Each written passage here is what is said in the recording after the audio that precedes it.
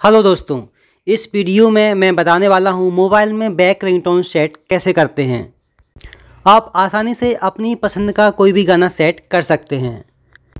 हमारे चैनल को सब्सक्राइब करके सीखें सब कुछ तो चलिए सीख लेते हैं। बैक रिंगटोन सेट करने के लिए मोबाइल के मेन्यू में जाएँगे और यहाँ से सेटिंग को ओपन करेंगे। सेटिंग को ओपन करने पर आपको कई सारे ऑप्शंस दिखाई देंगे।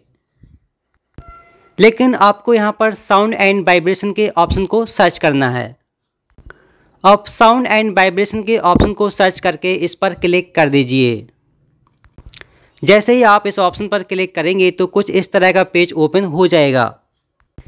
अब रिंगटोन सेट करने के लिए दिए गए रिंगटोन के ऑप्शन पर क्लिक कर दीजिए। इसके बाद जिस भी सिम कार्ड में आप रिंगटोन सेट करना चाहते हैं, उस सिम कार्ड के ऑप्शन पर क्लिक कर दीजिए। क्लिक करते ही आपके मोबाइल में जो भी प्री लोडेड रिंगटोन होंगी, वह सभी यहाँ पर शो हो जाएँगी। इस पेज को स्क्रॉल अप करके आप सभी रिंगटोन को देख सकते हैं। अब जो भी रिंगटोन आप सेट करना चाहते हैं, उस पर क्लिक कर दीजिए। लेकिन यदि आप अलग से कोई डाउनलोड किया हुआ गाना सेट करना चाहते हैं तो ऊपर दिए गए एडिट के ऑप्शन पर क्लिक कर दीजिए। जैसे ही आप एडिट के ऑप्शन पर क्लिक करेंगे तो आपके फ़ाइल मैनेजर में डाउनलोड की हुई सभी फ़ाइल शो हो जाएँगी।